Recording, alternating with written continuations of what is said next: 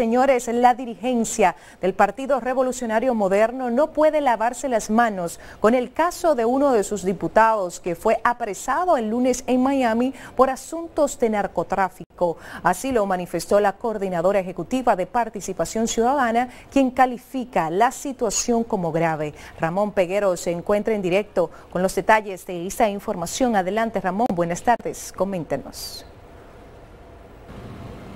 Gracias, buenas tardes. Lady Blanco señala que el PRM debió conocer a cuáles actividades se dedicaba el diputado Miguel Gutiérrez Díaz antes de llevarlo como candidato no se puede desligar. Es verdad, es muy cierto que ahora es de manera personal, él tiene que responder de manera personal, pero el partido tiene que responder ante la ciudadanía, ante la ciudadanía. Y la ciudadanía debe ejercer el control social que la Constitución le manda. Desde Participación Ciudadana no descartan que otros legisladores estén involucrados en asuntos de narcotráfico. Eso es algo un poco eh, que lo hemos visto en la cultura de la, política dominicana. Nosotros no tenemos los nombres y no, podemos hacer eh, un juicio con relación a eso, pero sí es verdad que el crimen organizado se ha infiltrado en todas las estructuras de poder.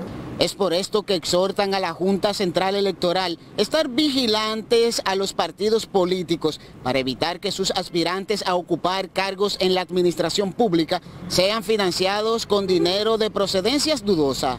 Mi participación ciudadana ha criticado y atacado, no ahora, hoy, sino desde siempre, la actividad clientelar, que es el cáncer que corroe el sistema electoral en la República Dominicana porque aquellos que obtienen fondos ilícitos son los que entonces son llevados por los partidos políticos en su boleta electoral porque tienen recursos para gastar en la campaña electoral. Pero nosotros no somos los responsables de descubrir en cada barrio, en cada ciudad, en cada lugar, quiénes son los narcotraficantes. Exhortan a los organismos de inteligencia del Estado trabajar en coordinación con el Ministerio Público para identificar a los políticos que pudieran tener vínculos con el narcotráfico.